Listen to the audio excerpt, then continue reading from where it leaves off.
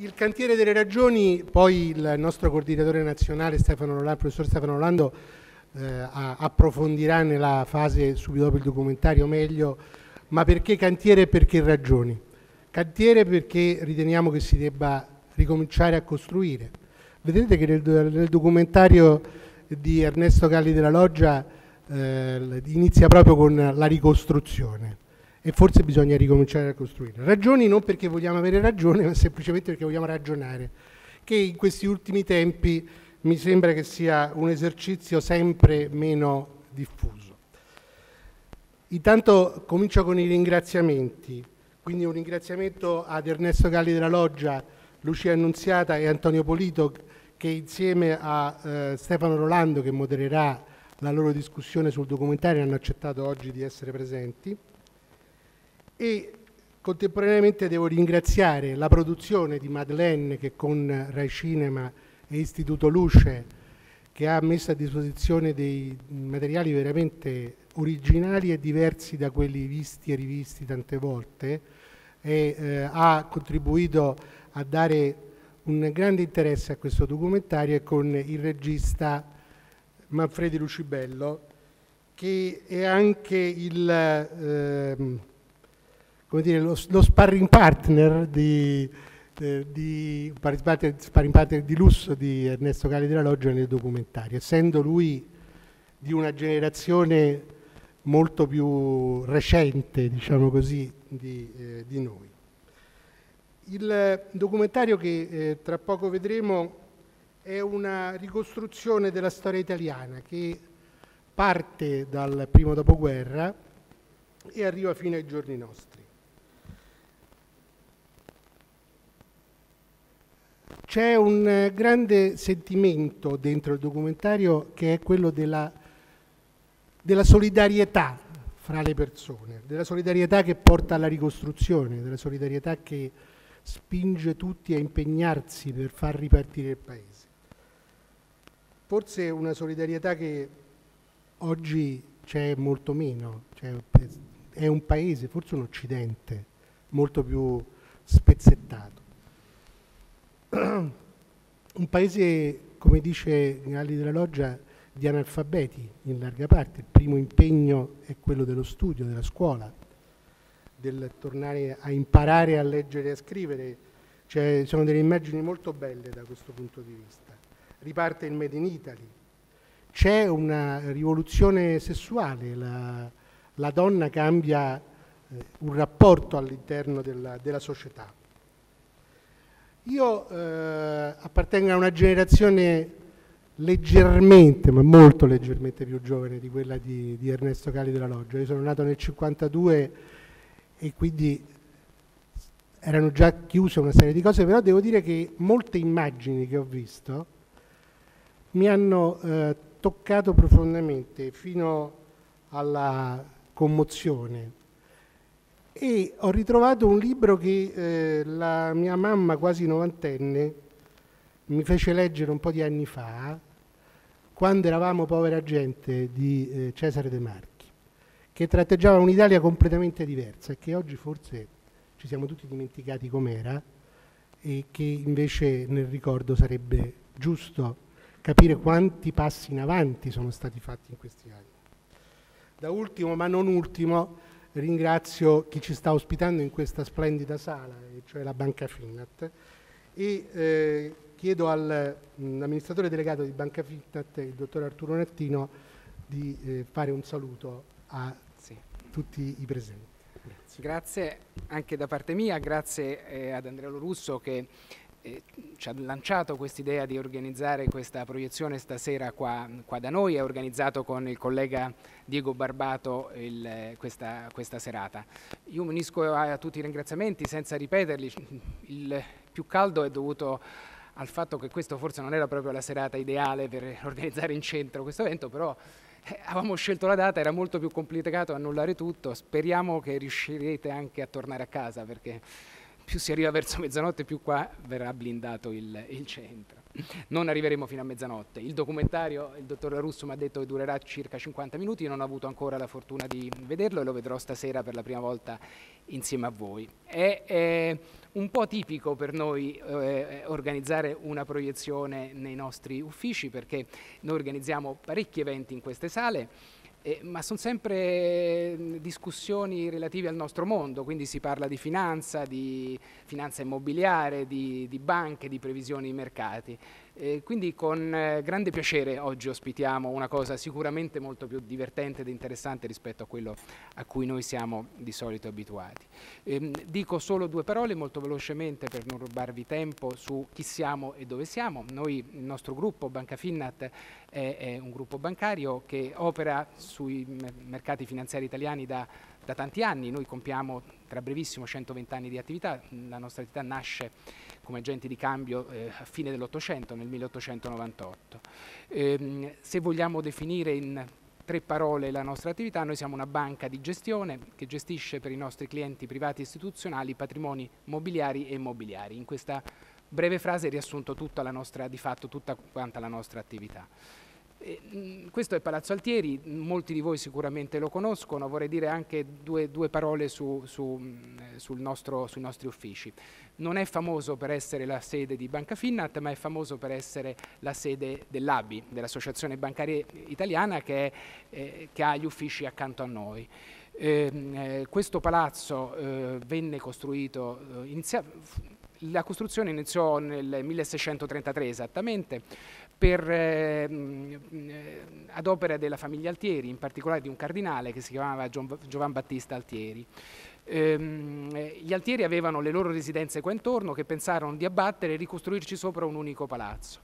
Però l'edificazione del, dell'edificio come è ora venne fatto soltanto parecchi anni più tardi, nel 1670, quando Emilio Altieri, che era il fratello del cardinale, anch'esso cardinale, divenne papa, eh, Clemente X, e, e, dal 1670 al 1674 eh, venne costruito il palazzo in tempi velocissimi per quei tempi eh, a costi altissimi, proprio per cercare la famiglia di finire l'edificio prima della morte del Papa. E così fu, perché l'edificio fu finito nel 1674, anno in cui Clemente X morì. E, e questo, questo, affresco che voi vedete fu fatto mh, proprio nel 1674 da eh, Domenico Maria Canuti, che era un allievo di Guido Reni. Rappresenta eh, l'apoteosi di Romolo, cioè la deificazione di Romolo che viene preso in braccio da Marte e portato al cospetto di Giove e degli altri dei. Non è eh, Domenico Maria Conuti l'unico artista dell'epoca che lavorò su, in questo palazzo perché mh, molti di voi forse sono stati nelle sale proprio adiacenti, che sono quelle dell'Abi invece, che ehm, hanno un bellissimo affresco di Carlo Maratta e quindi molti eh, importanti artisti dell'epoca lavorarono alla costruzione eh, perché l'architetto era De Rossi, che era un architetto molto importante dell'epoca e, e, e, alle pitture che, che, noi abbiamo. Tutte queste stanze sono affrescate e sono molto belle, devo dire. Per noi che viviamo ogni giorno qua dentro, questi sono i nostri uffici, è veramente molto bello poter, un grande, un grande privilegio poter lavorare qua dentro. Ehm, L'ultima cosa, e, poi concludo vi volevo dire, è che noi insieme ai tre principali proprietari del palazzo siamo noi, l'ABI e la Banco Popolare che ha il, il piano superiore, eh, questi sono tutti uffici che sarebbe difficile tenere aperti, però un giorno l'anno, a ottobre, tutti noi teniamo aperti al pubblico questi, questi uffici e per i nostri clienti facciamo, organizziamo de, durante tutta la giornata delle visite guidate. Quindi chiunque di voi fosse interessato ci lascia proprio, la propria mail e, e, poi a ottobre lo inviteremo perché a noi fa molto piacere. Purtroppo possiamo farlo un, un giorno l'anno perché sarebbe complicato essendo veramente molto densi e abitati questi uffici. Eh, questo è tutto quello che vi volevo dire, vi ringrazio ancora tutti per la presenza e a questo punto partiamo con la proiezione, da quello che ho capito. Assolutamente sì e quindi dobbiamo soltanto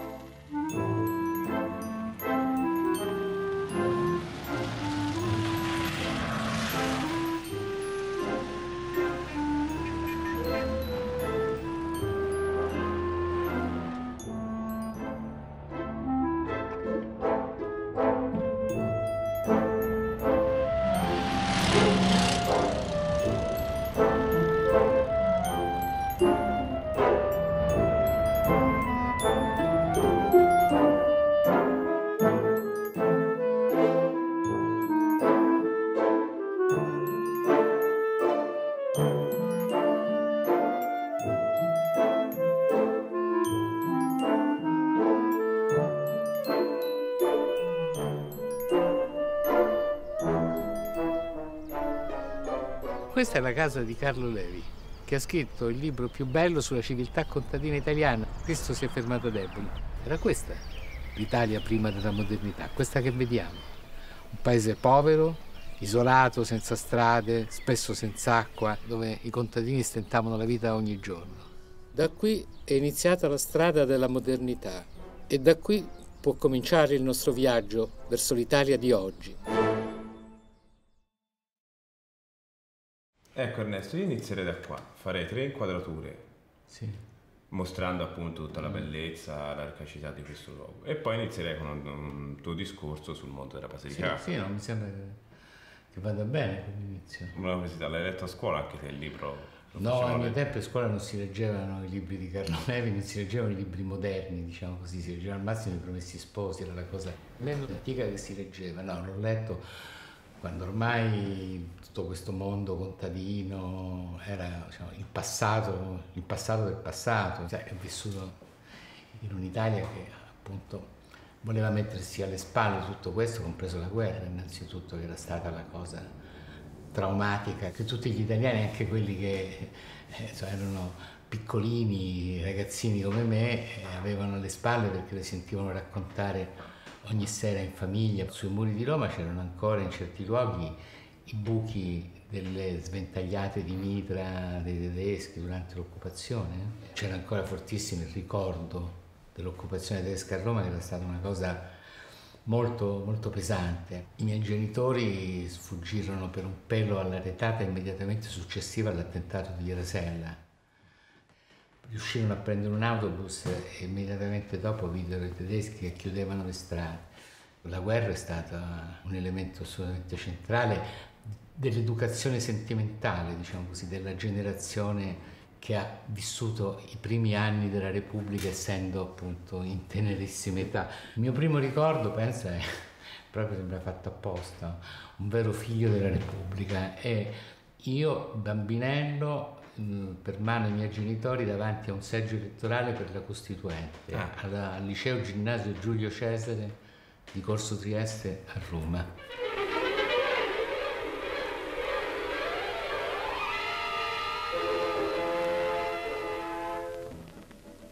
Nonna, nonna, sei tu? Sto atterrando. Dile di stare attenta. Possibile, zio, che non ti sei ancora abituato agli elicotteri? Appartenga a un'altra epoca.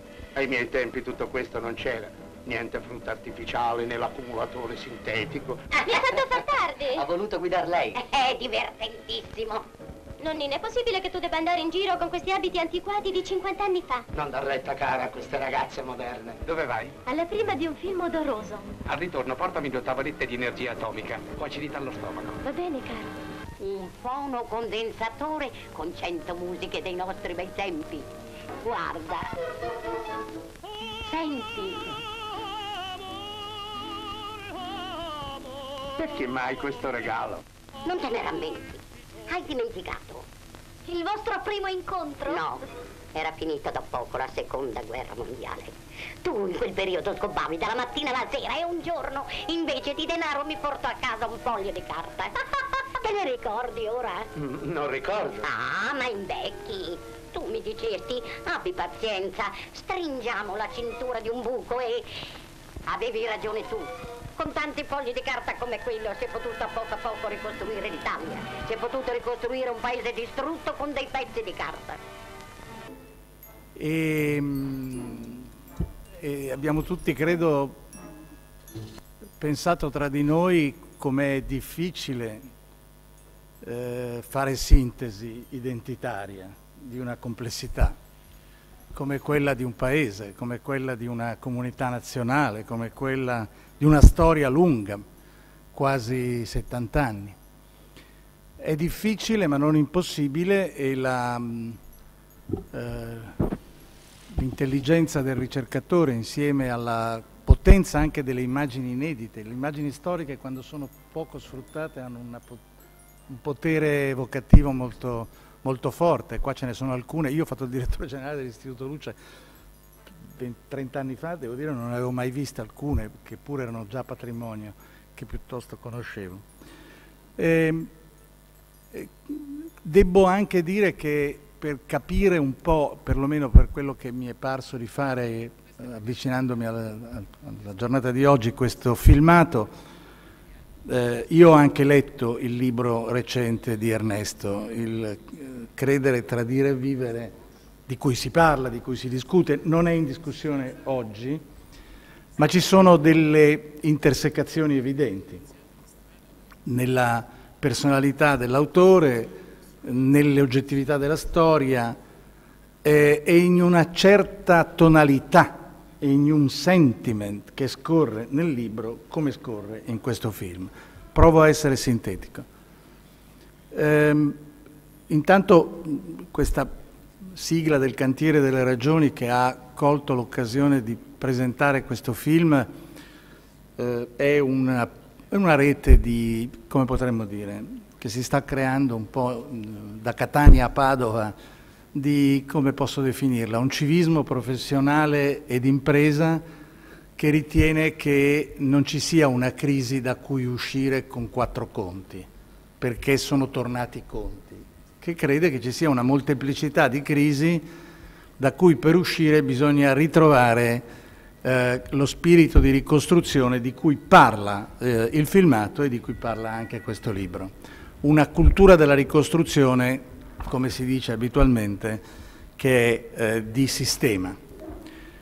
Eh, per il momento è un dibattito, per il momento è una presa di coscienza, per il momento è un tentativo di rianimare ehm, gruppi che sono esterrefatti dalla crisi di dialogo che c'è con il sistema politico. Non è, non è escluso che poi questa cosa un giorno o l'altro si faccia anche offerta politica, ma dipende dalla, dall'andamento generale di questo Paese, che in questo momento è molto interrogativo. Uh, uh, siccome l'unico modo di occuparsi di ricostruzione è di riprendere in mano il dibattito identitario, cioè di riacciuffare il senso delle cose nella portata in cui esse hanno un inizio e una fine per alcune generazioni soprattutto vive, e che quindi 4-5 generazioni hanno l'interesse al dibattito identitario, dibattito che è marginale sui media, è marginale nei luoghi di cultura, è marginale perché c'è una superficialità sul dibattito identitario che non ha pari nella storia d'Italia. È evidente che ci sono città che rispondono alla questione identitaria in una maniera più a pelle. Se muore Pino Daniele, Napoli si ferma. Eh, Milano, città in cui mi occupo di questo tema, eh, ha fatto un po' come i giapponesi, ha preso la sua storia identitaria, l'ha messa sottoteca e ha detto intanto occupiamoci della modernità. No, io ci tengo alla mia storia, ma sta sottoteca. Costruire quello che Ernesto Galli della Loggia fa da tanto tempo, un profilo di ricerca sull'identità italiana, è una, una, una cosa complessa complicata. L'ha fatto scrivendo tempo fa proprio un libro che si chiamava L'identità italiana, l'ha fatta forse anche partendo da una riflessione cruciale come è stata quella che lui ha fatto in maniera anche un po' diciamo controcorrente sull'8 settembre, dove ha riconosciuto lì un punto di svolta e di innesco di un tema di discontinuità e forse di ricerca ancora non finita sulla nuova identità italiana, l'ha fatto con tante con tante cose e poi con questo libro. Eh, io per introdurre eh, questo nostro discorso fatto con voci così sensibili e anche così autorevoli e per cogliere anche sentimenti che abbiamo vissuto tutti qui eh, in questo momento, eh, faccio una sola intersecazione con questo libro. Libro in cui verso la fine eh, Ernesto dice eh, chi è lui, eh, eh, nel senso, detto in una parola, dov'è il suo punto di vista. E lui dice, io per generazione e formazione mi sono identificato con il problema dell'identità nazionale. Cosa vuol dire questo? Ve lo dico semplicemente. io comincio i miei corsi in università dicendo agli studenti di dire a, pelle, non con tutte le compresenze possibili, ma qual è l'identità di base in cui loro si sentano... Questo lo dici tu? Sì, lo dico io. Eh, lo dico io, no, ma ti, ti, do, ti, do, il contrappunto a quello che dici tu, che uno dice l'identità nazionale pensa di essere in maggioranza. Quando fai questo ragionamento con 400 studenti, la grande maggioranza oggi in università, come tante, l'identità primaria è quella locale e quelli che abitano le grandi città ti dicono il loro quartiere. Poi c'è una minoranza che ti dice che sceglie l'identità italiana, i sardi e i siciliani che parlano di identità regionale ma sono gli unici, nessuno dice più cittadino del mondo che noi dicevamo volentieri e eh, il tema dell'Europa è, lo dico perché oggi è il 24 di marzo, scomparso dal radar dell'identità dei giovani. Poi se tu gli vai a dire le compresenze identitarie ti dicono ah no certo io sono anche europeo, io sono qui, io sono là, ma l'identità primaria non è quella nazionale. Questa generazione non ti risponde così, Ernesto Galli della Loggia dice io ho questa storia, ho questa formazione, prima di tutto letto Gramsci, Croce e Salvemini e quindi la sto. A un certo punto di questo, io partirei da questa da questo titolo che è stato scelto per il documentario, che è il titolo ambiguo, Il paese perduto. Eh, ambiguo forse no, e qualcuno dirà forse no.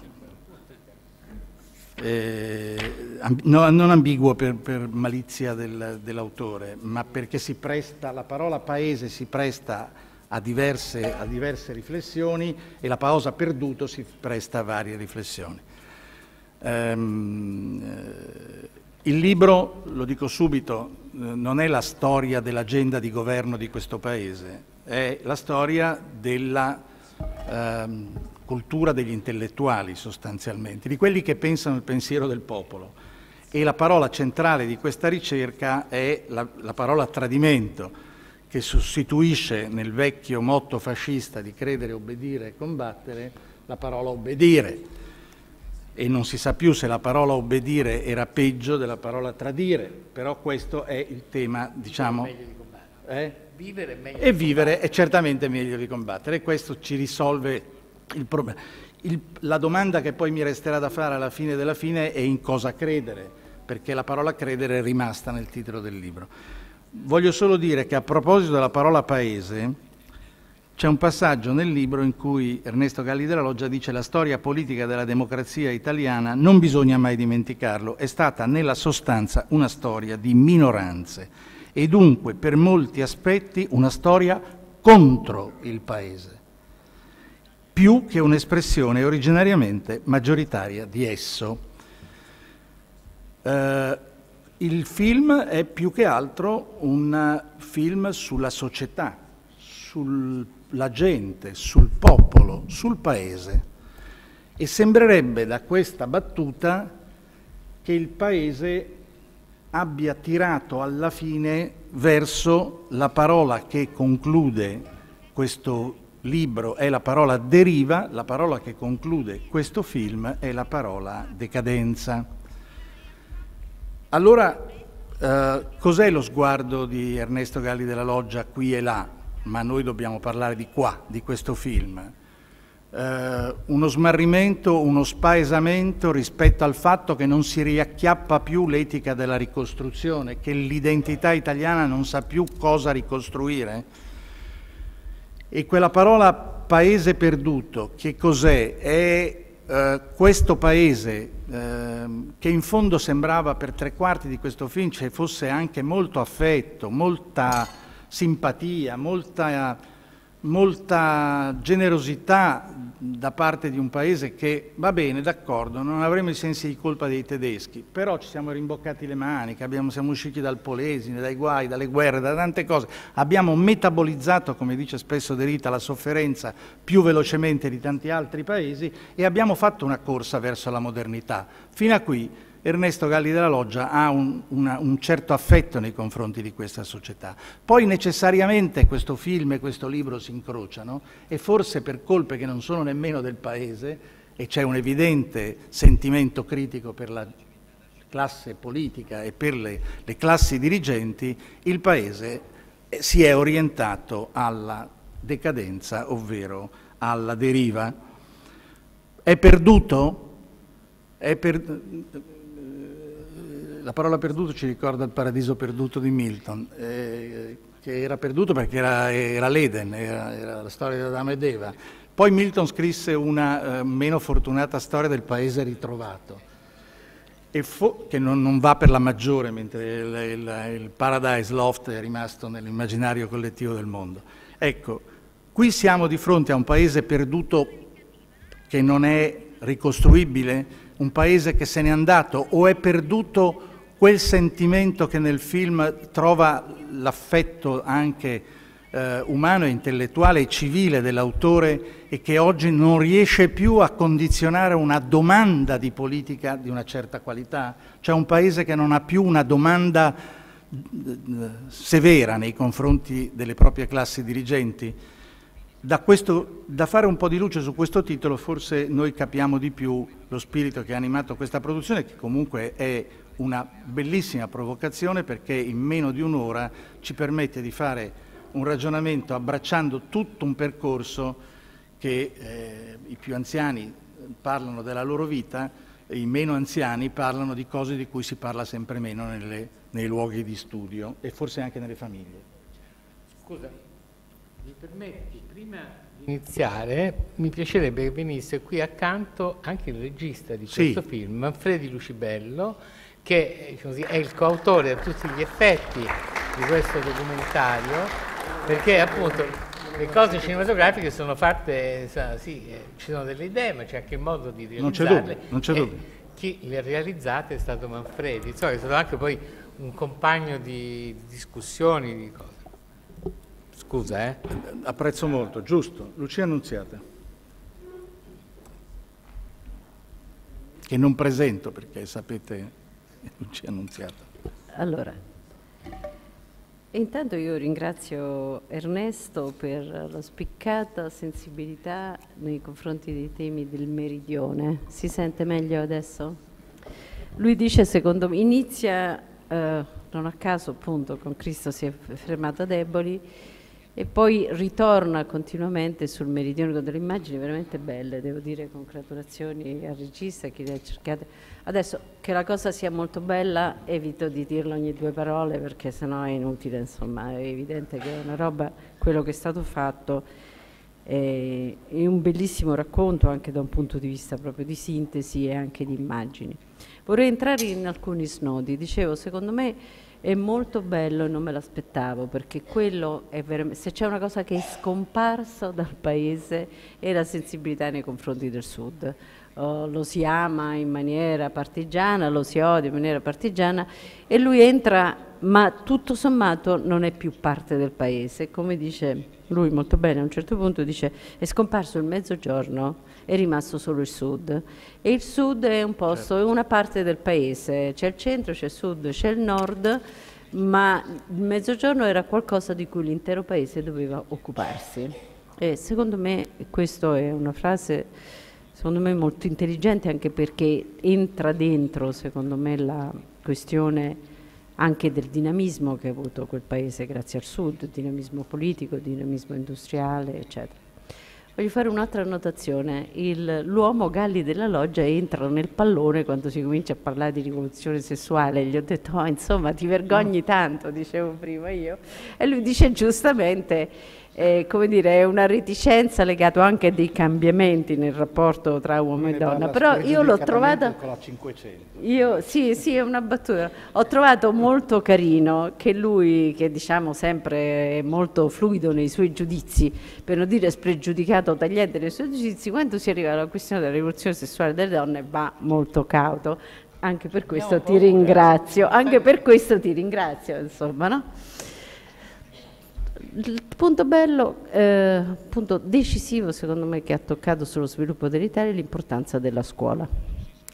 Tutti ricordiamo quella scuola ed è stato tagliato molto bene l'idea che era stata quella scuola ehm, l'abitudine al servizio, cioè all'ordine, alla produzione, al servizio, una grande scuola che ha messo in piedi il paese, ha rimesso in piedi il paese.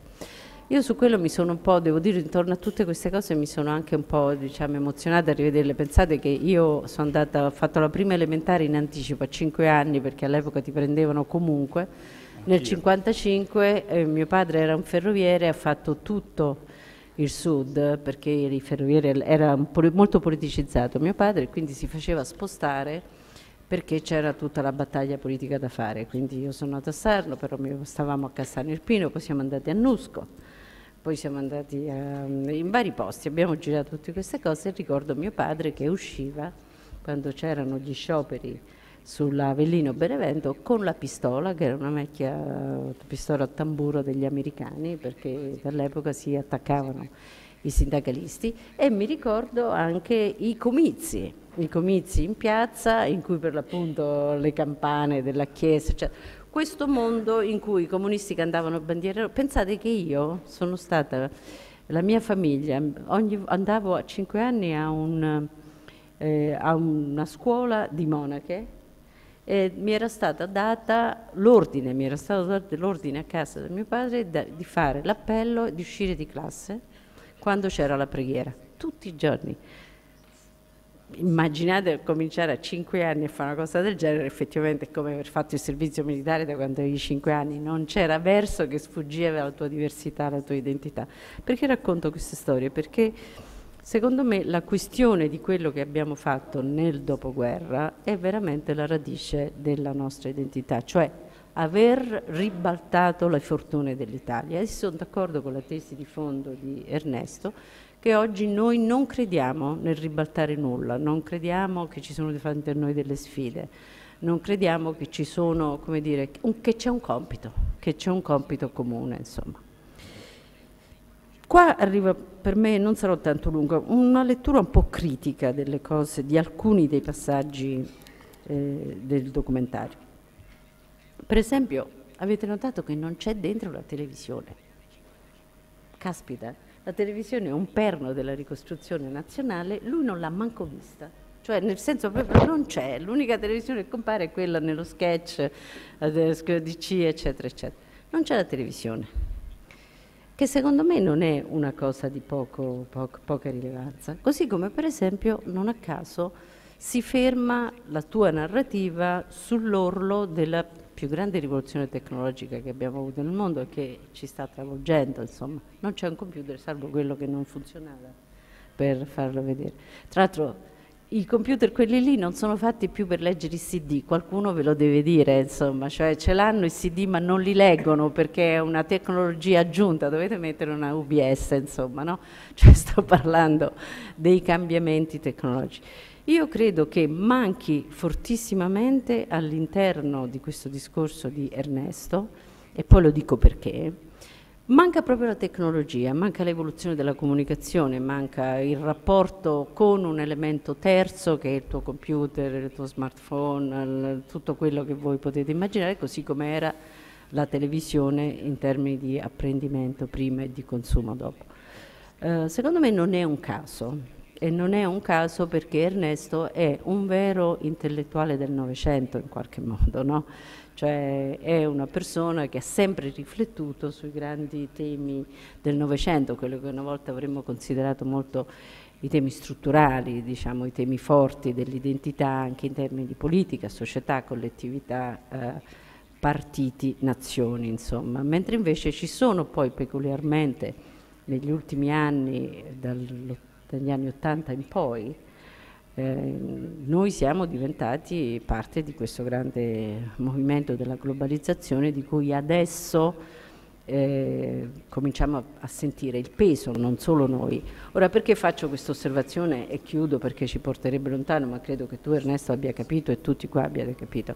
Perché porsi la domanda di che paese abbiamo di fronte a noi oggi eh, per, guardando ai meriti che abbiamo avuto nel passato, secondo me non serve più a niente. Niente, ve lo dico così, cioè nel senso che il nostro passato è la nostra cassaforte, è quello, diciamo, il luogo ancora, dove ancora troviamo qualcosa che abbevera la nostra anima, ma non possiamo assolutamente immaginare, come si fa oggi molto spesso, di riproporre una continuità con quello che abbiamo fatto, con quei valori, con quelle cose bellissime, perché sono andate.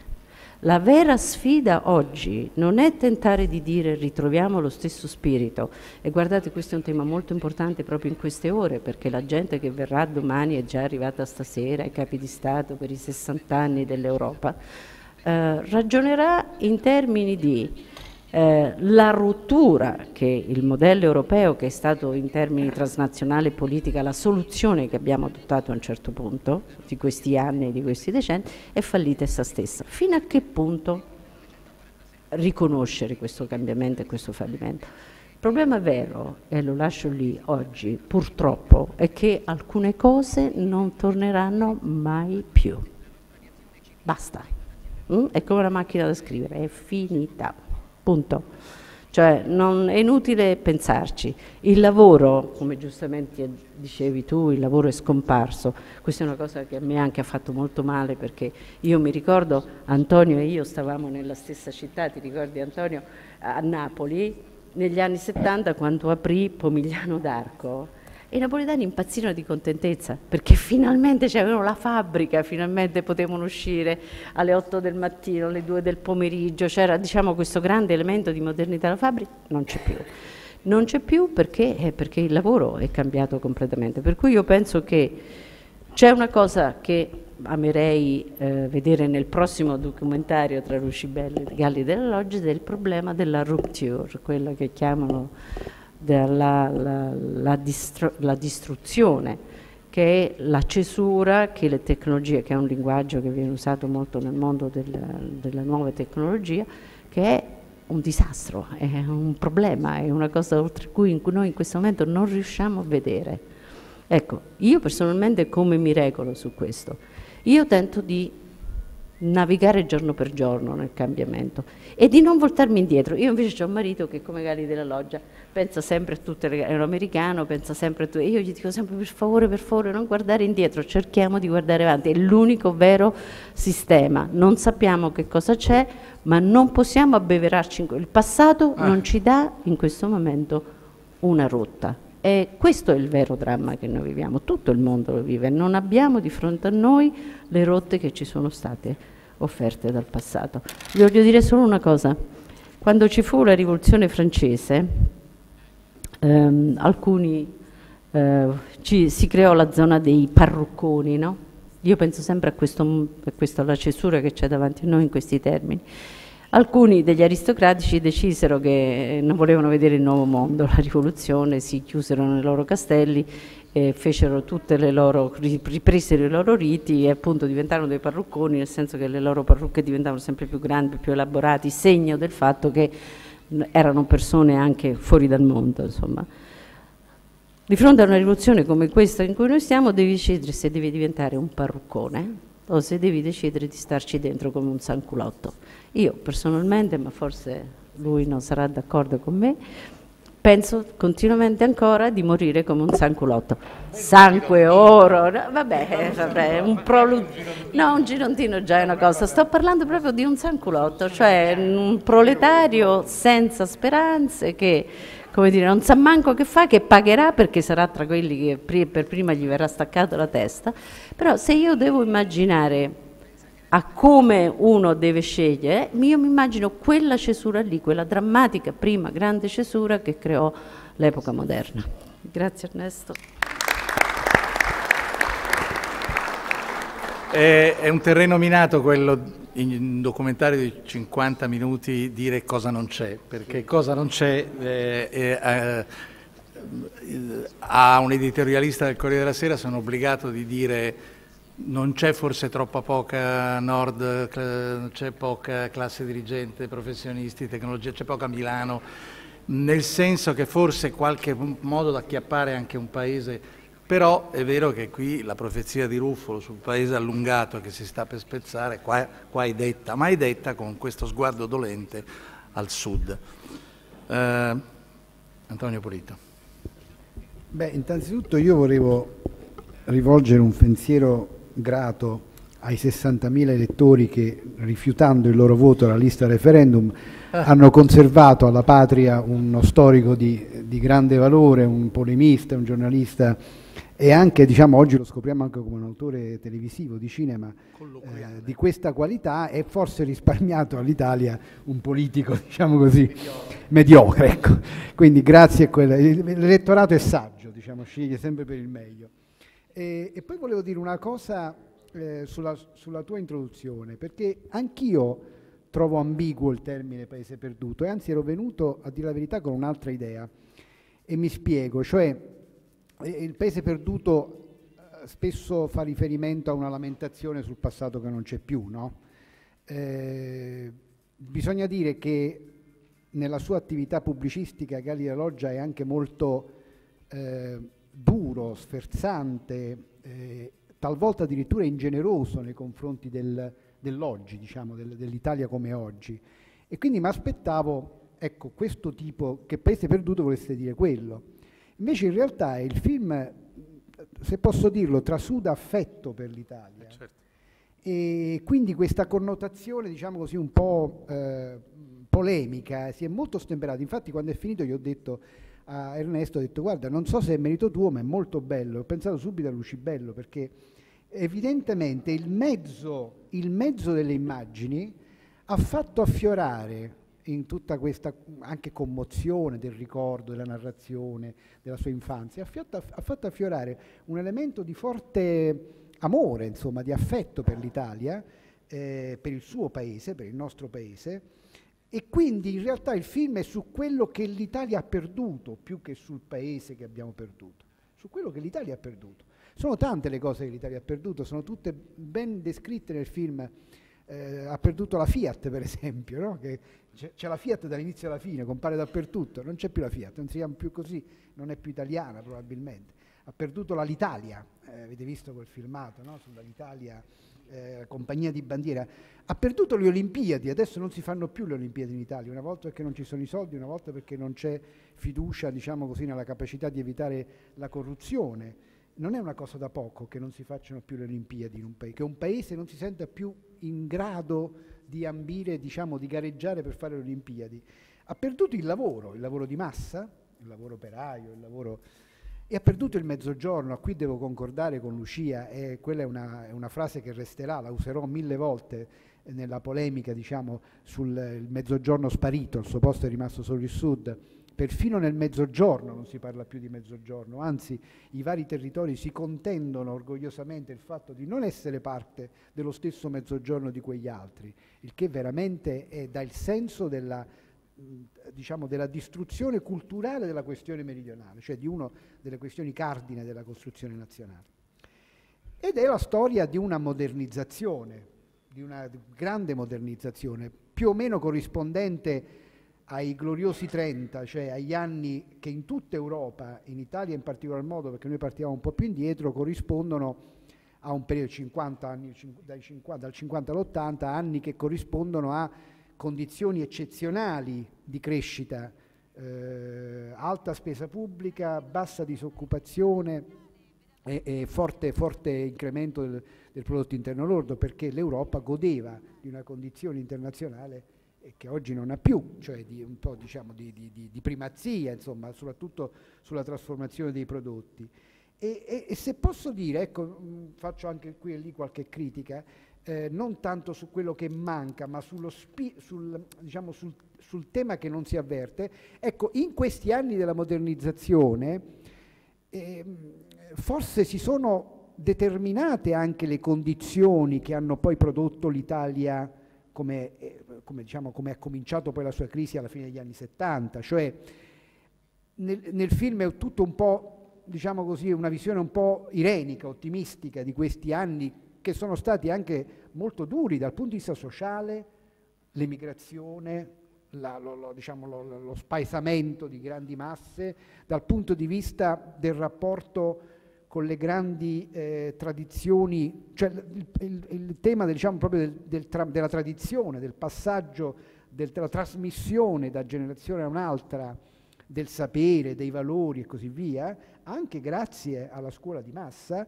eh, diciamo, il rapporto con la Chiesa, eh, quello è ben descritto per esempio nel, nel, nel, nella vicenda sul referendum, cioè ci sono state una serie di consunzioni in quegli anni di grande crescita, di grande modernizzazione, quelli che tutti oggi diciamo sono stati gli anni migliori, gli anni più belli, anche perché più o meno generazionalmente erano anche per ognuno di noi diciamo, gli anni più belli, e che però contenevano dentro di sé diciamo, uno, le, le, diciamo, un, la costruzione di uno sviluppo che aveva i suoi difetti, non ultimo dei quali quello della, del paese lungo, cioè del, del rapporto tra nord e sud.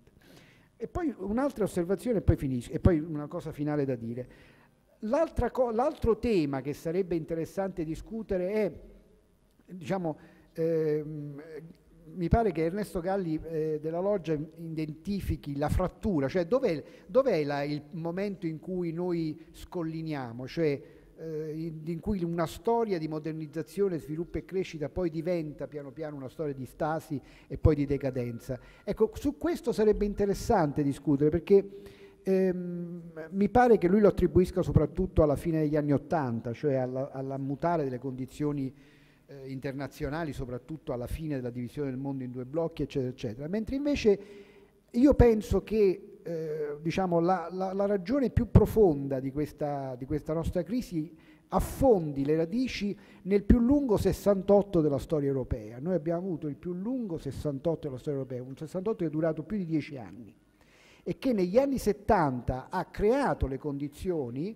eh, che invertivano quelle dei 30 gloriosi, cioè che appunto creavano l'inflazione, eh, diciamo la, la, il, debito, la costruzione di un debito pubblico elevato che adesso non ci mette neanche in condizioni di fare con i soldi dell'erario la messa in sicurezza di vaste zone del paese che crollano al, al primo terremoto o alla prima nevicata abbondante, cioè veramente un fenomeno di arretramento anche civile del paese rispetto alla, alla, a, a, quegli anni in cui si costruiva l'autostrada con tanta velocità, ma quello è il momento, quello è, la, è il brodo di coltura, anche culturale, anche politico, in cui si inceppa il meccanismo della crescita e si creano le condizioni di una stasi e poi di una decadenza. Infine un'ultima, un'ultima cosa, un'ultima osservazione mi è venuta in testa, cioè poi vedendo il film eh, mi sono detto ma quali sono poi le cose che, di cui abbiamo ancora bisogno, le cose che ci renderebbero in grado di, diciamo, di, di, di, ricominciare una storia di successo perché è sacrosanta la conclusione di Galli Loggia, attenzione perché diciamo, l'Italia sta qui da 2500 anni, non, non viviamo diciamo, nel presente senza avere la capacità di guardarci un po' all'indietro e quindi anche avanti. No? Quindi, eh, quindi c'è da chiedersi che cosa, che cosa, ci serve, che cosa è fondamentale. Beh, io penso che tre cose vengono fuori dalla ricostruzione del film e che vanno eh, molto enfatizzate anche nella, nella, nella polemica politica e culturale di oggi. Il primo è che noi dobbiamo stare in un sistema internazionale, cioè l'Italia da sola non ce la fa, non ce la fa, cioè la grande svolta diciamo, del, del, del, dopoguerra è il, giustamente il piano Marshall e poi, manco a dirlo, poi la, poi la CECA e poi nel 57, 60 anni fa, eh, la comunità europea. E, diciamo, è in quell'ambito occidentale ed europeo che noi abbiamo prosperato. Questo per me è una cosa fondamentale, cioè non credo che l'Italia abbia un futuro e un destino al di fuori di un sistema di amicizie internazionali, di cooperazione, di collaborazione che esalti al massimo, lo dico perché oggi invece pare il contrario, pare che l'Italia sia stata distrutta nel corso della sua storia dal fatto di essere così aperta all'Europa e al resto d'Europa. La seconda cosa, la politica democratica. È molto bella tutta la, diciamo così, quella parte che eh, l'autore dedica al tema del, del, del, del, rifiorire della politica democratica, perché quello è un elemento fondamentale anche per lo stato d'animo di un paese, anche per, per dire, il sentimento di un paese. E, ed è una cosa che stiamo eh, colpevolmente, mm, stiamo perdendo colpevolmente nel senso che non protestiamo abbastanza quando questa si, si usura o viene addirittura scippata. E il terzo elemento è l'elemento della solidarietà. Questa è un'altra cosa, le grandi reti di solidarietà, le grandi reti, diciamo così, di, di italiani che si mettono insieme eh, intorno a una necessità, un bisogno, come nel caso del Polesine, eh, e quindi anche diciamo, i grandi convincimenti culturali, ideali che motivano la solidarietà verso gli altri in una comunità, il senso della comunità. Questa è la terza cosa di cui secondo me non possiamo fare a meno. Comunque complimenti perché è veramente un bellissimo lavoro. Grazie. Non so, siccome abbiamo diciamo, interlocutori che sono abituati ai tempi televisivi, sono stati velocissimi, non è, non è frequente, sono stati rapidissimi.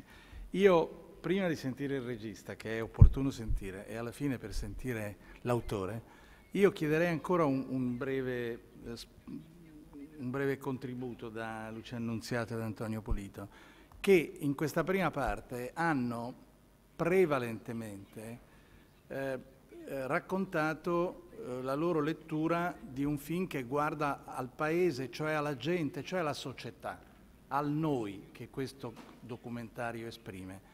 Poi noi sappiamo che Ernesto Galli della Loggia è eh, attento da sempre ad analizzare le classi dirigenti e la capacità di eh, orientare gli indirizzi di una società e di un paese. La responsabilità della politica è un oggetto permanente di ricerca.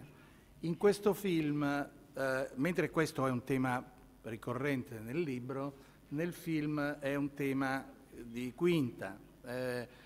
C'è questo mm, riferimento a, agli anni Ottanta, c'è questa eh, proposta enigmatica sugli anni Ottanta che mm, eh, una, un intellettuale così poco propagandistico non, non dice che sono anni di...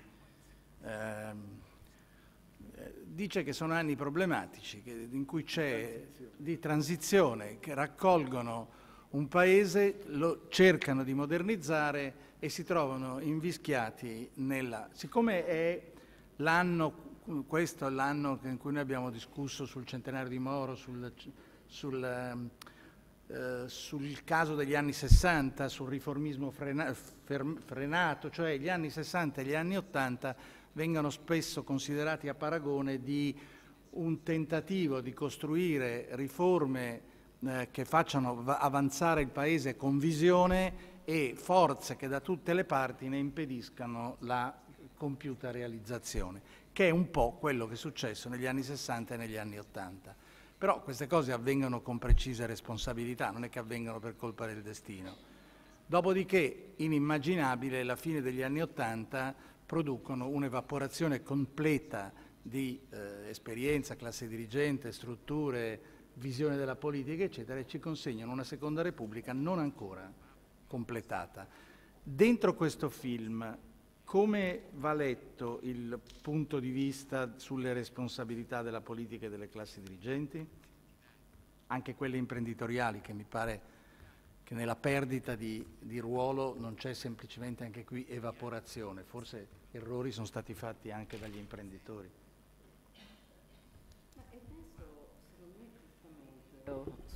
Ernesto, sì, giustamente io ho apprezzato, ha deciso di non fare la tiritera sulle classi politiche, perché quello ormai ne abbiamo fino, non so voi, ma a me mi escono dalle orecchie, dal naso, forse per il lavoro che faccio, insomma. Ma soprattutto perché, apprezzo questa roba, perché ormai è un modo semplicistico di interpretare la questione della decadenza del Paese. Ripeto, ripeto, non lo dico... Oh, la questione della globalizzazione, che giustamente è il problema che parte dalla caduta eh, di, di, del muro di Berlino, o perlomeno sì, è il vero problema del cambiamento delle classi dirigenti. La classe dirigente italiana è forse più o meno corrotta o irresponsabile, perché adesso non si sa più neanche che cos'è la corruzione, no? ma, tutto è corruzione, ma c'è un problema di responsabilità. Ma voi vorreste stare in Francia? Buh vorreste pensate che vada molto meglio in America e non parlo di Trump, parlo delle responsabilità del Partito Democratico, insomma. Quindi cioè, è, che cos'è? È una decadenza legata alla fine di una funzione, di una classe politica o è una decadenza nata, come la vedo io, dalla fine dello Stato-nazione, degli Stati-nazioni, dei punti su cui una classe politica poteva governare, poteva dire delle cose su cui si formava una cultura e anche un controllo e una compartecipazione. Secondo me se noi non vediamo questo rapporto tra fine dei confini e fine dire, della sovranità nazionale delle classi politiche non capiamo neanche perché il, eh, certi fenomeni come il populismo, sia pur nelle loro nature diverse, sono così eh, diciamo, trasversali. Quindi io ho apprezzato che lui non si, non si, sia buttato, potendolo lui fare, essendo il lavoro che lui fa sempre, su una certo. spiegazione certo. che butti sempre su questo. Dice però una cosa che secondo me è, è importante. Sì, ho visto anche io una cosa un po' omissiva sugli anni Ottanta, devo dire però ho amato molto quello che invece ha detto sul PC, che secondo me è una cosa che non si dice tanto. Cioè il PC in realtà comincia a crollare alla fine degli anni 70, non dopo, negli anni 80 o negli anni 90. La fine del PC, questa è una mia piccola battaglia, fatemelo fare, ho scritto anche un libro, secondo me il PC muore nel 78 è assurdo quando muore Moro, eccetera, eccetera. Ma la verità è che quando muore, nel 76 il PC non riesce a consolidare la sua andata al governo eh, e non riesce contemporaneamente a controllare il movimento che trova un picco in quel momento e si ritrova tra Lama e eh, Moro, hm, questo doppio parricidio come lo chiamo io su queste robe, il PC perde una grandissima partita, che è quello di essere l'elemento che può portare nelle istituzioni il malessere sociale e l'evoluzione sociale, non soltanto il malessere sociale, non è che la società è solo malessere, la società spinge anche per cose positive. Essendo io una delle persone che ha sfilato tra il milione di studenti, mezzo milione in Italia e varie centinaia di migliaia, che sfilava sotto le botteghe oscure dicendo che facevano schifo, quella roba lì, che invece è stata la vera rupture politica, perché da lì poi vennero le barricate rosse, perché cioè quella spaccatura tra il movimento dei giovani enorme e la speranza di andare al governo nel 76 77, se ci fate caso, è completamente espunta dalla storiografia nazionale. Perché se no non si capirebbe che Berlinguer un po' di, di, di, cose sbagliate le ha fatte e non si capirebbe che Berlinguer in fondo qualche fallimento, se non almeno un paio molto forti, insieme ad alcune cose positive, ed erano parte uno dell'altro queste robe, no? la sua capacità di mettersi nel mondo occidentale era secondo me l'altra faccia della sua incapacità di ritornare, incapacità storica naturalmente, di ritornare al ruolo tradizionale, di riportare a unità tutti i movimenti sociali in una prospettiva diversa. Per cui io penso che lui questo, eh, eh, l'hai detto, l'hai detto in poche frasi, ma per chi vuol capire eh, si era capito, insomma. Eh. Completiamo il, il passaggio. Dopo questo duro attacco alle buonanime, anch'io mi sento in dovere di dire qualcosa sul PC. no, no, ma no, ma capisco, la, capisco lo spirito. E sì, anch'io ho apprezzato molto quella, quel, in particolare quel giudizio che dà Galli Loggia sul PC, quando lui dice il PC ha sprecato la sua, la sua, forza politica. Questo è un fatto molto vero, cioè spiega un po' l'impasse politica italiana, perché in tutta la fase della modernizzazione, appunto gli anni eh, 50-80, quando, fine anni 70, quando l'Italia cresce e soprattutto crescono le condizioni sociali diciamo, ed economiche delle masse popolari, degli operai, eh, conquiste salariali, eh, consumo possibile anche per, per, per, i lavoratori, cioè si mette in, in, moto quel tipico meccanismo di crescita socialdemocratica che ripeto appunto in tutta Europa ha funzionato perché poi gli operai compravano i beni di consumo e di conseguenza sostenevano i consumi interni per cui eh, se ne producevano di più e insomma il meccanismo tipico diciamo virtuoso della crescita e non dell'arricchimento da petrolio come giustamente si diceva a proposito della Basilicata.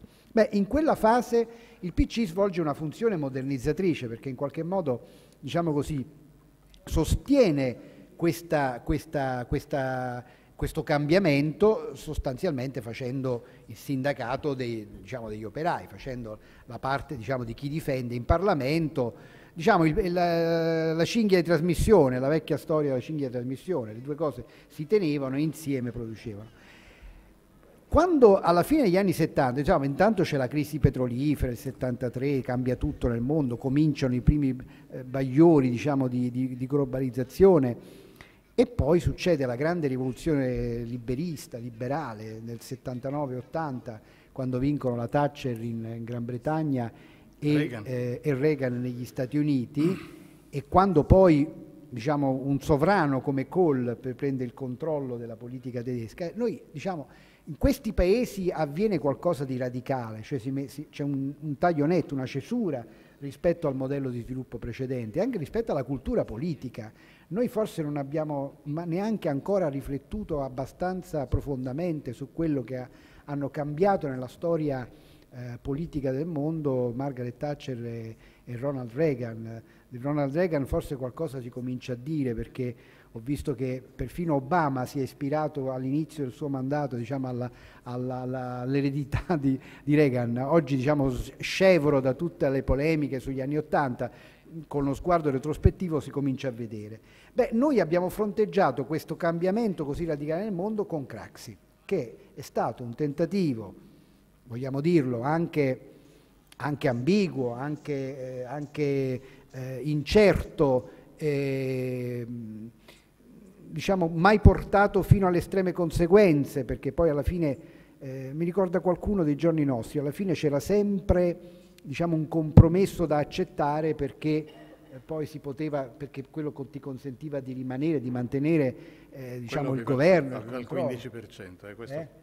No, no, quello, 15, questo aveva il sì, 40. Sì, appunto, anche, anche, un partito molto più piccolo e in, in, un sistema politico proporzionale in cui per forza dovevi fare diciamo, le alleanze con qualcuno. Quindi eh, da questo punto di vista il nostro sistema politico non ha avuto il coraggio di, della rottura, della frattura, del cambiamento radicale che altri paesi che hanno avuto poi anni di grande sviluppo, di grande...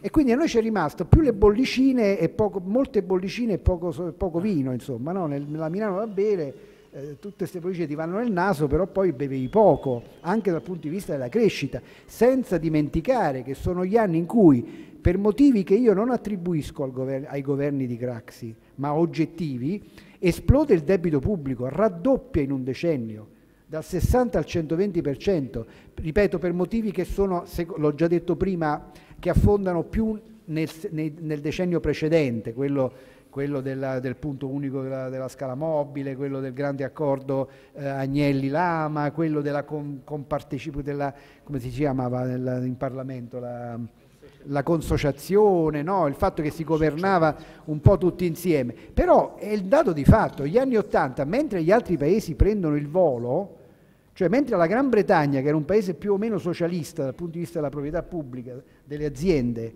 eh, diciamo, distrugge questo sistema completamente ed entra nel nuovo mondo, noi invece, per tenere in piedi un sistema che non abbiamo la forza politica di cambiare, facciamo esplodere il debito pubblico dal 60 al 120%. E da lì comincia la soma. Ci siamo portati sulle spalle, ci portiamo tuttora, una soma perché mentre gli altri paesi, noi diciamo, spendiamo più degli altri paesi ogni anno 35-40 miliardi degli altri paesi a noi paragonabili solo per pagare gli interessi di quel debito pubblico che è chiaro che non riusciamo a ridurre. Ora, dal punto di vista politico, questi sono gli anni Ottanta, quindi un tentativo anche eh, diciamo brillante certamente con una personalità molto importante come quella di Craxi, ma del tutto inadatto alla, al momento e all'epoca, è condizionato da quel PC che abbiamo detto prima spreca la sua forza, perché condiziona la vita politica, le scelte politiche, condiziona anche Craxi, perché non dirlo, il quale combatte col PC, ma non è che lo, che non è che lo doma completamente, al punto tale che poi diciamo, eh, finisce come, come, come finisce, cioè finisce, cioè finisce che il PC riesce a sopravvivere allo scandalo che invece travolge, che travolge Craxi e quindi condiziona ma senza partecipare alla gestione. Infine un'ultima cosa, quella che dicevi tu prima, se volete diciamo così, approfondire il tema della, della politica delle classi dirigenti nel ragionamento di Della Loggia, in effetti il libro è, è, è questo, cioè veramente c'è una grande differenza tra il libro e il film, perché il film è veramente diciamo, guarda al paese, eh, mentre invece il libro alle, ai suoi gruppi dirigenti. Uh, sul film ci sono dei passaggi eh, con immagini anche in, curiose che segnano che i cambiamenti avvengano anche nel quadro microsociale, nell'esperienza quotidiana, nella caduta di valori, nella semplificazione, nella fine dell'ideologia del pianerottolo. Quando il ragazzo eh, dichiara che, senza grande patema d'animo, che lui toglie il manifesto di Che Guevara e mette il, la sua fotografia. Pensavano che no, non è che mette ah, la sua. Ah, non mette la sua. No, mi sembrava il passaggio al personale, no, pensavano che fosse la sua. Fosse la sua e, e si spaventava. Che magari è una scelta di regia più che una scelta autorale. Questo ci permette di ragionare su come le immagini hanno raccontato anche questa storia. Luci Bello. No, sì, io posso dire mi sono anche un po' divertito con queste immagini, questo questo archivio per me era proprio tornare indietro nel tempo, un tempo che non avevo mai visto e quindi certi atteggiamenti mi sembravano anche in qualche modo ridicoli, no? come quel cartello la donna in Parlamento um, porterà pace, ecco, è una cosa abbastanza buffa, no? eppure è il 92. Quindi per me l'archivio è stato andare in, un, in un'Italia perduta in quanto io non l'ho mai vista io, come diceva Ernesto, quando si chiacchierava di, il ricordo politico, un, il primo ricordo che ho di un politico, pol, politico è Craxi e le monetine. E, diciamo, e l'ultima una cosa simile, quindi io sono vissuto in quest'Italia.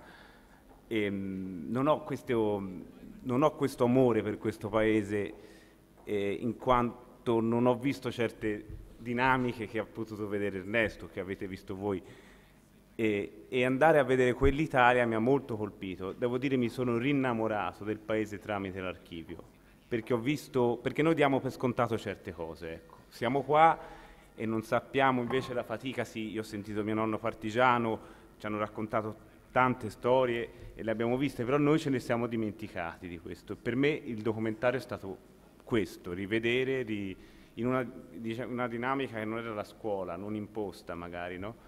E ho rivisto un'Italia che non conoscevo, anche se è il mio paese. Ecco. Quindi concordo anche sul discorso che si faceva, che, eh, si faceva prima sul fatto che i giovani d'oggi non si sentono italiani ma hanno una visione regionale. Questo è vero, o cittadina, o di quartiere addirittura. E, e questo è, è un, un, grosso problema, anche soprattutto se pensiamo che noi siamo la generazione Erasmus, no? quella che ha viaggiato, quella con i, i, i confini aperti. Ecco. Ma um, eh, Lucia Annunziata, ma rispetto al, al, sei tu che hai evocato due volte il tema della globalizzazione.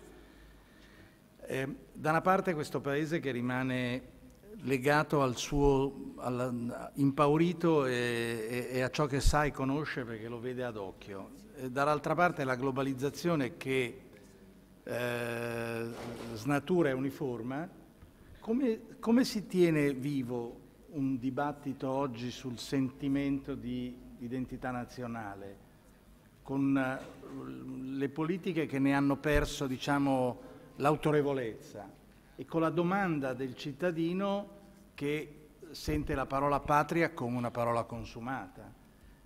Allora, l'unico modo di riprendere il tema sull'identità delle nazioni sarebbe giusto appunto l'appuntamento europeo di riqualificazione di un progetto europeo altrimenti è difficile riprendere quel sentimento che ci commuove. Bisogna avere il coraggio di accettare questo conflitto tra locale e globale che per i più è incomponibile. Perché non facciamo una domanda direttamente a Ernesto? Eh no, ma io lo facevo, io scusa te l'ho chiesto perché Ernesto era fuori, allora, ero lì che la, eh, si chiamava Melina, si chiamava... Per telefono. Allora sì. eh, Ernesto ne ha sentite abbastanza per, sì, poi, per raccogliere. Sono allontanato quando ho parlato Manfredi perché conosco. No, l'hai fatto apposta, la... chiaramente. No, non l'ho fatto. Ha detto che è stato molto difficile lavorare con te, Ernesto. Ah sì? No, non questa, è vero, mi... eh. questa, questa, è nuova, questa non l'avevo sentita. Ha approfittato, della mia assenza. Non è vero, sono stata io Dunque, pochissime parole, innanzitutto di ringraziamento a, a chi ci ospita, ai proprietari di questo bellissimo luogo e anche naturalmente che non si è perduto come qua. Stefano, Stefano Orlando e tutti gli amici che appunto hanno parlato e hanno letto, visto il film con tanta attenzione e dedizione. Tutto quello che hanno detto potrebbe essere l'inizio di discorsi interminabili, eh, dirò semplicemente la mia in maniera molto secca su alcune questioni. Innanzitutto paese perduto, che cos'è che è stato perduto? Io credo, almeno il mio punto di vista, è che è stata perduta l'idea del paese, per l'appunto, l'idea che esista un paese, un paese che in qualche modo significa una collettività, un gruppo di persone tenuti insieme da qualche cosa. Che cosa? Credo che pochissimi italiani lo saprebbero, saprebbero dare una risposta. Ehm, e credo che eh, oggi eh, non molti si sentono italiani, eh, non molti si sentono italiani, si sentono tante altre cose, buone o cattive, non lo so, però non, diciamo così, non, non è più un sentimento diffuso, quello dell'appartenenza a una cosa che si chiama Italia, che significa naturalmente conoscere un po' questa cosa cos'è, conoscere la storia, conoscere il passato, perché altrimenti senza passato non c'è identità. L'identità è data dal passato. Se chiunque di noi si dimentica la sua vita per un colpo in testa, non sa più chi è. E così avviene per i paesi, ovviamente. La cartina al tornasole di questa drammatica perdita di identità, eh, che è legata appunto a questo legame con il passato, è la, la condizione catastrofica della scuola la scuola è per l'appunto quella cosa che a ogni generazione consegna un passato, eh, un passato del paese, la storia, la geografia, la letteratura, eccetera. Non è un caso che da 10-15 anni il Ministero dell'Istruzione è un ministero assolutamente irrilevante, dato per lo più o a professori universitari, no anche a uomini, a professori universitari illustri, eh, oppure invece a personaggi politicamente di secondo piano, come la signora Fedeli, che nessuno... L'ultimo ministro dell'istruzione è stato forse Luigi Berlinguer, dotato di qualche caratura politica. I ministri dell'istruzione non contano nulla. Eh, come ci sono due ministeri che in Italia non contano, il ministro della giustizia che non, cioè, non, non, ha nessuna possibilità di fare nulla, se non fare qualche legge che poi la NM gli, gli, gli si lura, eh, e il ministro dell'istruzione che appunto eh, è una persona totalmente ormai nelle mani della burocrazia del Ministero, insomma, È la crisi del, del, del sistema di istruzione. Eh, io credo che eh, appunto eh, questo si è prodotto eh, in relazione ad un'abdicazione generale che la politica ha fatto e che eh, mi dispiace perché forse eh, Antonio non sarà d'accordo, ha corrisposto con diciamo così, l'adozione dell'europeismo come l'ideologia ufficiale delle classi dirigenti italiane, adozione che è stata dovuta soltanto all'idea che noi non riuscivamo a risolvere i nostri problemi e avevamo bisogno di un vincolo esterno. Questa è stata la vera ragione per cui appunto siamo diventati europeisti, sperando che appunto domare il debito pubblico, eh, le richieste delle corporazioni che stavano affondando l'Italia, eh, ci avrebbe pensato qualcun altro perché il nostro sistema politico non poteva riuscire a venirne a capo. Perché? Perché il sistema politico italiano aveva una cosa che era il Partito Comunista che appunto eh, non poteva essere un attore di tipo socialdemocratico, non voleva essere, non, poteva, non voleva essere un attore di tipo socialdemocratico. E, e quindi... Si eh? Come? Il quale Partito Comunista si opponeva. E per l'appunto, e si opponeva al comunista. Quando è crollato l'ideologia del Partito Comunista, perché il marxismo è andato a pezzi, il Partito Comunista ha adottato l'europeismo massicciamente e sono diventati tutti europeisti. Il simbolo di tutto questo, di questo, diciamo così, fondamentale modello trasformistico per cui appunto eh, le stesse persone sono diventate cose completamente differenti, per cui tu ti, ti, ti sorprendi oggi che appunto scompaiono gli illustri personaggi del Partito Comunista e nessuno, è tutto, è, è tutta una, una, una, musica che finisce in gloria, nessuno più... Ma questo, sai, l'Italia ha avuto un Presidente della Repubblica che era un signore comunista che eh, ha avallato tutte le sciaguratissime scelte, non gli piacevano, lo faceva a malincuore, masticando amaro, d'accordo così, però eh, eh, la presenza di eh, ai vertici del paese di una persona come il Presidente Napolitano, un ottimo Presidente della Repubblica, che aveva però una storia, che era la storia del Partito Comunista. E quindi questo ha impedito che eh, il Paese diciamo così, potesse discutere in maniera libera e spregiudicata la classe politica perché appunto ai vertici c'era un signore che nel 1956 diceva che i, i, russi facevano benissimo a schiacciare eh, la rivoluzione ungherese, che nel 1973 diceva che faceva benissimo l'Unione Sovietica a mettere al bando e mandare in esilio Solzhenitsyn. Eh, lo faceva malvolentieri e proprio perché si sapeva che lui non, non lo faceva molto volentieri, glielo facevano fare naturalmente, secondo la, la, la, però eh, questo ha impedito, diciamo un'operazione di, di, di, verità, eh, unitamente al fatto appunto che il sistema politico italiano è stato grande, la grande vittima e al tempo stesso il protagonista della della crisi del paese che si è verificato negli anni 70-80. Noi non siamo riusciti a eh, diventare, cioè non siamo riusciti a gestire in maniera appropriata la, la democrazia e la modernizzazione. Eh, perché? Perché la democrazia per essere gestita doveva avere dei protagonisti che noi non avevamo, cioè soprattutto un sindacato, un partito di sinistra che primo potesse costituire l'alternativa effettiva di governo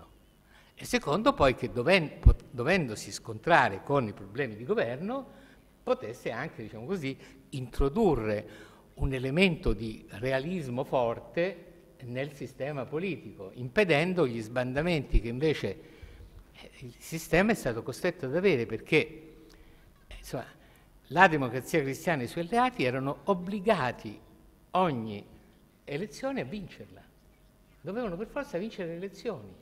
Eh, eh, questo è stato il dramma della democrazia italiana. E come fai a vincere, a essere sicuro che vinci le elezioni? Eh, eh aprendo i rubinetti della spesa pubblica. Eh, naturalmente poi c'era l'opposizione di sinistra che ti incalzava su quel piano, perché anche lui voleva, eh, dovevi finanziare 4-5 regioni governate dal Partito Comunista perché sapevi che non potendo andare al governo gli dovevi almeno consentire di eh, governare la Toscana, l'Emilia, l'Umbria, eccetera. E questo, diciamo così, è stata questa paralisi, anom- questa anomalia, questa mm, discrasia del sistema politico che ha mandato in tilt la democrazia e la modernizzazione italiana. E l'europeismo è stato l'ultimo, la zatta di salvataggio a cui ci siamo aggrappati, naturalmente eh, diventando più europeisti di tutti, ovviamente. Eh, eh, però appunto poi quando arriva il padrone, il, il, vincolo esterno, il padrone straniero, tutti se la pigliano con la signora Merkel o con Schäuble. Ma noi quello volevamo, siamo diventati europeisti perché la signora Merkel ci potesse mettere in riga, eh, però poi quando ci mette in riga naturalmente non, non ci piace.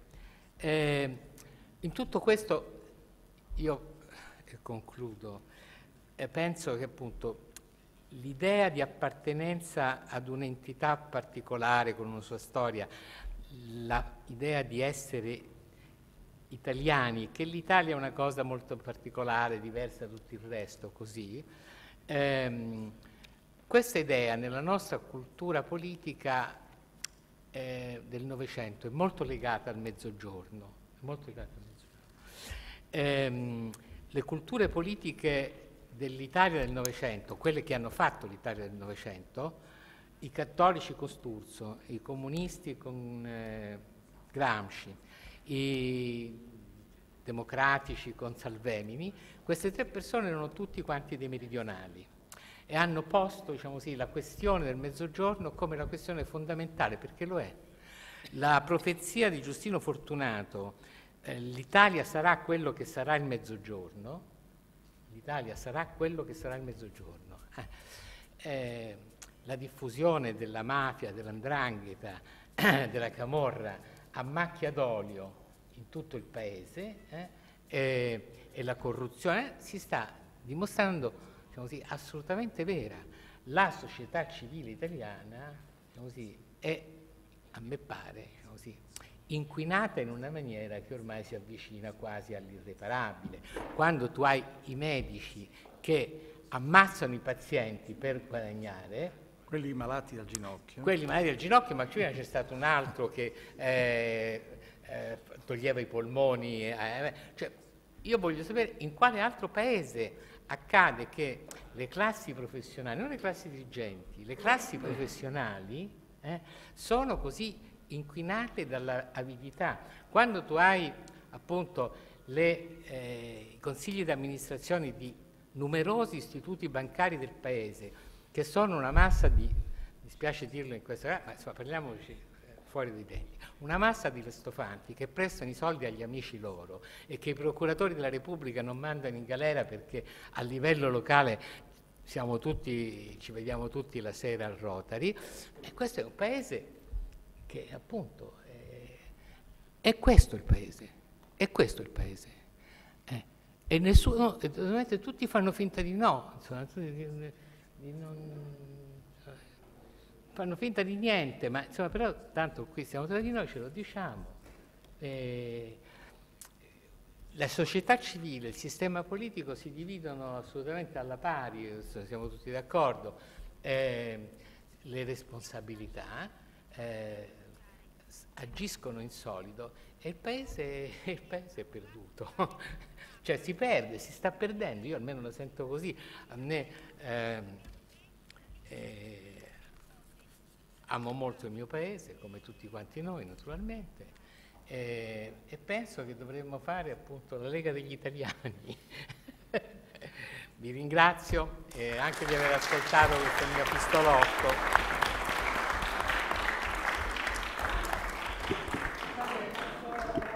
Vorrei solo fare un ringraziamento a tutti, però ci siamo dimenticati una persona. Carlo Macchitella, che è il produttore di questo, di questo film. E credo che se stasera c'è questo film lo si deve molto a lui anche nei contenuti.